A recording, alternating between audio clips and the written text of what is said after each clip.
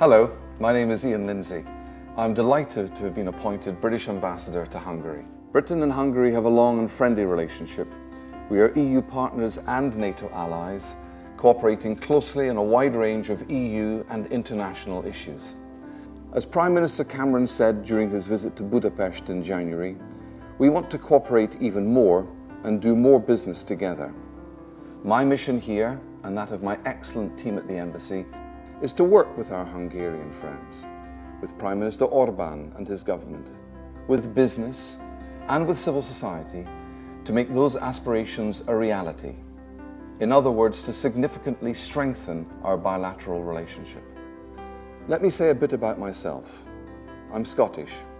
I've been a diplomat for 35 years, serving in Europe, Asia, and most recently in Bahrain, where I was the British ambassador. My wife Bridget is also a diplomat, but also a teacher and a writer. Our son Callum is doing a master's in film at King's College London.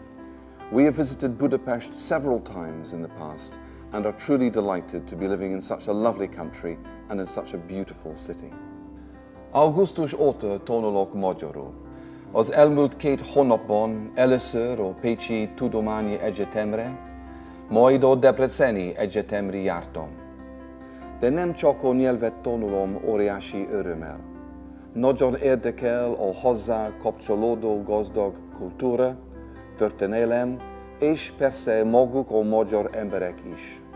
Igazán kiváltságosnak érzem magam, mert a munka megkezdése előtt egészen közelről szerezhettem benyomásokat Magyarországról.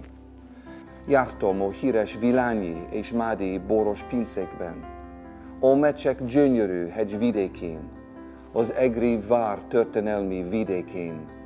Csodálatos koncerteket hallgatom Pécset és Debrecenben.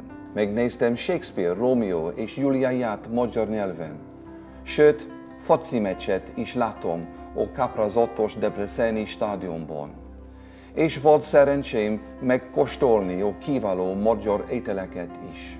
Szeretném megköszönni tanáraimnak, és vendéglátóinknak a vendég szeretetet, kedvességet és türelmet, amivel fogadtak.